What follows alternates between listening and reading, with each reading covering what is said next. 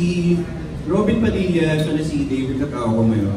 Yung Sharon Cuneta, ako na joke. Yung Sharon Cuneta, si Barbie, si Ed, Ed Dumanzano, yung kontrabida, si Juancho, tapos ako yung Dennis Padilla.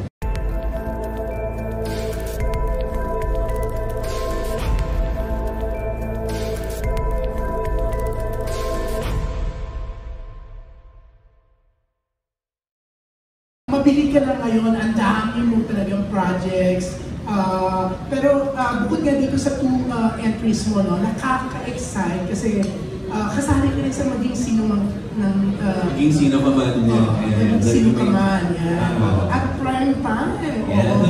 Oo. Ah, gaano ka ka-excited? Kasi ah, may long movie ka na, may prime time series ka pa. And gaano, gaano kalaki yung role mo dito? Um, gaano kalaki? I wouldn't know yet. I mean, I wouldn't say no kung gaano siya kalaki. Pero um, yung sa remake kasi na to, di ba dati ang cast dito si Robin Padilla, si Dennis Padilla, si Sharon, tapos ang kontrabida si Edu. So, si Robin Padilla, siya na si David Cacao ko ngayon. Yung Sharon Cuneta, ako na joke. Yung Sharon Cuneta, si Barbie, si Ed, Ed Dumanzano, yung kontrabida, si Juancho, tapos ako yung Dennis Padilla. Ah, ikaw So, yung, parang- so, yung magko-comedy. Oo, oh, parang ganun. Parang yun nga, yun na nga mismo yung pangyayari. Kumbaga, ah, parang ang laki. Kasi ah, sa movie, ang dami eksena together niya. Yeah, yeah. Lagi kasama si Dennis Padilla, Oo. di ba? Oo. Oo, so, oo. ang dami mong taping days, ang bongga. yung masaya sa pagiging best friend ng bida lagi, dami dating. so, ikaw na bang, ano, pwede mong sabihin pang bansang ah, BFF, edition? Hindi naman kasi may buboy bilyar pa eh. Malay mo kakabugin siya kasi busy siya sa Itbulaga. Ikaw na yung pang teleserye. Ko niloloko kay Buboy yun na parang lahat ng kumukuha sa akin ng best friend na roles. Lagi ko sinasabi na, Buboy, hindi ka kasi pwede, ako tuloy kinukuha.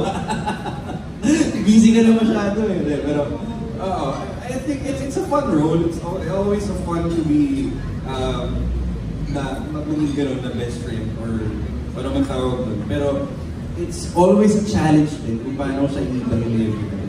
So ngayon, buti na lang, um, very fresh dahil hindi ko pa nakaka-work before ever yung team na to. Uh, sina Direk Enzo Williams. Uh, and, and it's, it's, it's refreshing na parang nakakahawa yung enthusiasm nila na parang siguro, I think it's, it's become like a norm na sa akin na gawin tong roles na to. But with Direk Enzo, parang I'm somehow motivated to make it even more different than kung ano yung mga nakasanayan ko na. So it's, it's, it's, it's work. It's challenging. At this point, ano yung ah, mas challenging sa'yo? Magpa, uma, um, drama or magpagawa? Mayroon akong nararamdaman na seasons na parang kapag kunwari nung time na sunod-sunod ako sa Pepito sa Bubble Gum, tapos nagkakaroon ako ng itch na gusto ko na mag-drama ulit. tapos pag tuloy-tuloy naman sa teleserye, parang meron namang gusto ko na mag-comedy ulit. so depende sa kung anong ginagawa ko at the moment, doon naka-base. Pero I think it's, it's, it's equally um, satisfying. Depende sa material.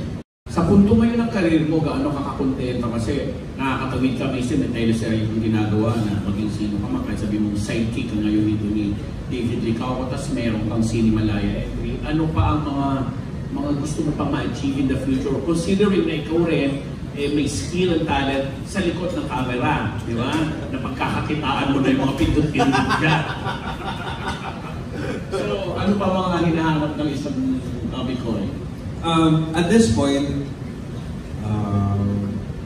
mas hinahanap ko yung consistency. Kasi okay, okay ako sa mga ginagawa ko ngayon. eh, I get to do film, nagagawa ko pelikula, tapos dapat teleserye, nakatawid ng play, tapos and in between, nakapag-score ako ng mga pelikula, nagawa ko music. Consistency. Na Sana parang, sana I, I do enough para magtuloy-tuloy pa yung trabaho yun, yun lang naman yung ko. Kasi parang, mamaya season lang pala ito na sinamba ako sa lahat ng magkakasunod. So parang, no, right now I'm striving for and working for consistency. Pero kahit sa likod ng camera, nakaka-racket ka eh. Oh, yun nga, yung paggawa ng mga jingles, Oo. paggawa ng mga score. Nagagawa ko siya in between. Okay. Okay. So, At in-enjoy mo. Oo, oo, oo.